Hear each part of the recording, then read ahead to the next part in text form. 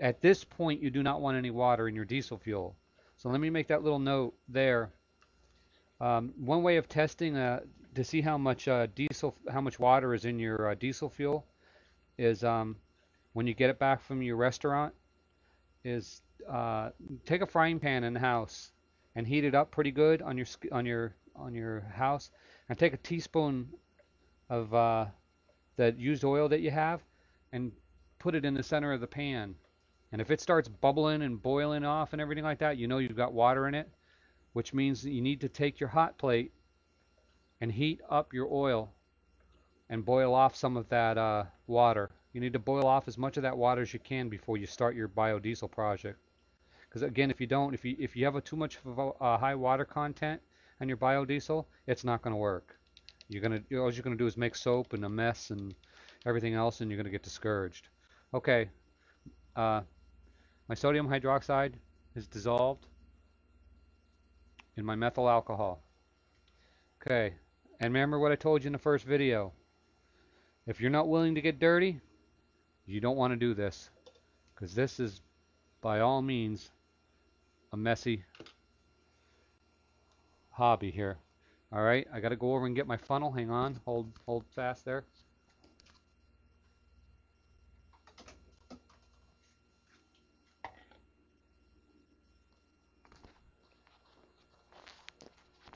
You want to clean this biodiesel, you want to clean this oil as often as you can.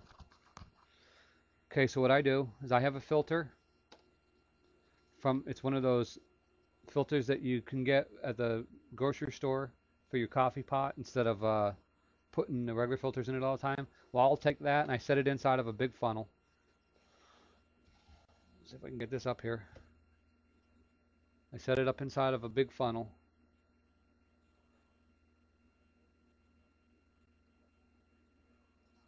And then I'll take a paper coffee filter and I'll set it inside of that. I want to filter this as much as I can. Even though this oil is clean oil and it's only been used once, it's still got chunks in it.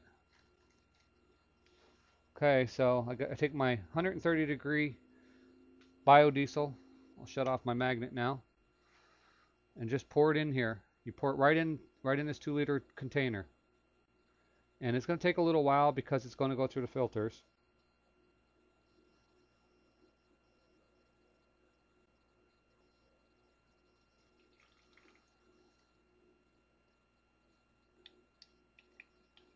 Now this isn't a fast project.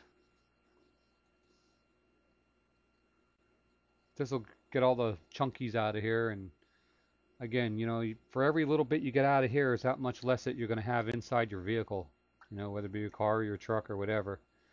Um, while we're watching this paint dry here, another note is um, when you if you're switching over to biodiesel and you haven't done it yet, and you're going to go and run biodiesel after your first uh, tank, maybe two tankfuls of biodiesel, you need to change out your oil filter, your uh, fuel filters. Biodiesel is more of a corrosive than regular diesel fuel is. So what it's going to do is it's going to loosen everything up that was in your gas tank, all that sludge and garbage and junk and everything like that. That's why they say biodiesel is so much better for a vehicle because it cleans it better. It's got it's more of a lubricant than the regular diesel fuel is. So you want to go ahead and uh, switch out them filters so uh, you can get rid of all that junk Hmm. gunk and everything that was in there. Okay. And that's it now. So we filtered it. You can never filter it too much. You always got to make sure you filter it really well. Okay. Okay, so there's our there's our biodiesel. That's the start. Okay. Now what you're going to do is look for another funnel, which is right here. And you're going to take your sodium hydroxide and your methyl alcohol. Make sure it's stirred up. Okay. Add the two of them together. Now you'll know if you screwed up instantly, because if you screwed up instantly, as soon as you hit that stuff in there, it would have turned into sludge. So, so far we're doing good. It looks good. Now you take your cap, okay? I built a special cap.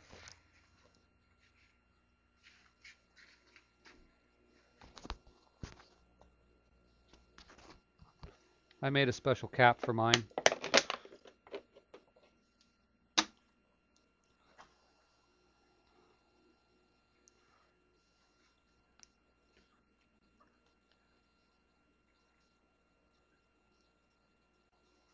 I made a special cap for mine. I just put a drilled a hole in it and put a drain on it. You'll see why in a little while. Okay, so you mix it up or you close it off and you take it and you mix it up. You literally shake the heck out of it.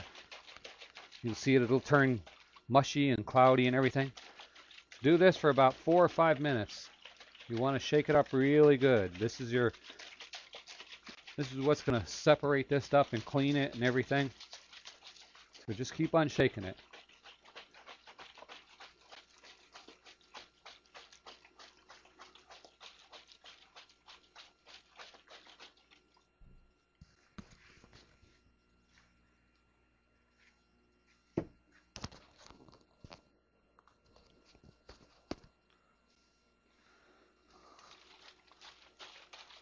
Just keep on shaking it up. And we get that stuff mixed up really good. Go in circles, forward and backwards. And as you're doing it, you'll see it go from like a, a cloudy, cloudy, and it'll change its, it'll change darker and darker. See how it's getting like darker? It's almost getting like clear now. So it went from a real foggy, a real foggy color to now it's starting to get some more density to it. But shake it up pretty good. Now what's going to happen, keep in mind now, this thing is hot. So the container is going to start collapsing because it's hot. Okay, so I'm going to let this go. You turn it upside down like this. I just used a piece of PVC pipe and I let it sit in there.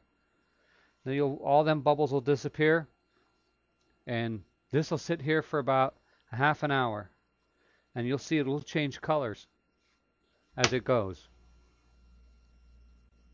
What world was that? Oh. You'll see it change colors as it goes.